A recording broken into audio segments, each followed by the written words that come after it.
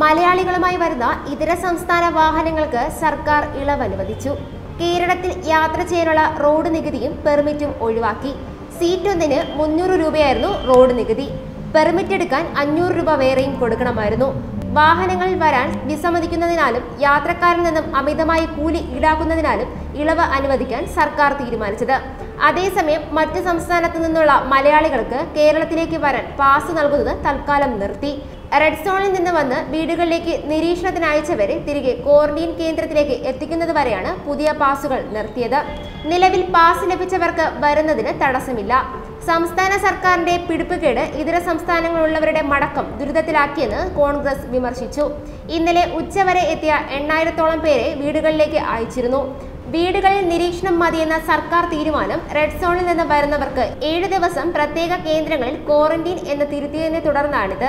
ഇന്നലെ ഉച്ചയ്ക്ക് ശേഷം വീടുകളിലുള്ളവരെ ക്വാറന്റീൻ കേന്ദ്രങ്ങളിലേക്ക് മാറ്റാനുള്ള നടപടികൾ ആരംഭിച്ചു. നിലവിൽ പാസ് ലഭിച്ചവർ നാലായിരത്തി മുന്നൂറ് പേരാണ്. മെയ് പതിനേഴ് വരെയാണ് പാസ് അനുവദിച്ചിരിക്കുന്നത്. ഇവർക്ക് വരുന്നതിന് യാതൊരു തടസ്സവുമില്ല.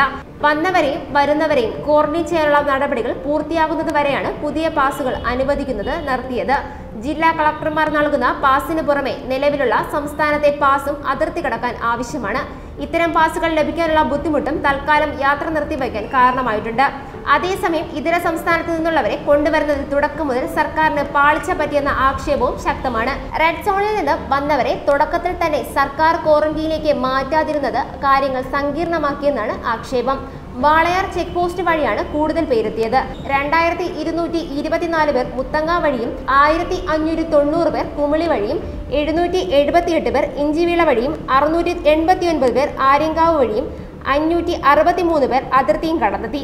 ആകെ പന്ത്രണ്ടായിരത്തി എഴുന്നൂറ്റി നാൽപ്പത്തിനാല് പേരാണ് എത്തിയത്. റെഡ് സോണിൽ നിന്നല്ലാതെ വരുന്നവർ പതിനാല് ദിവസം വീട്ടിൽ നിരീക്ഷണത്തിൽ തുടരണം.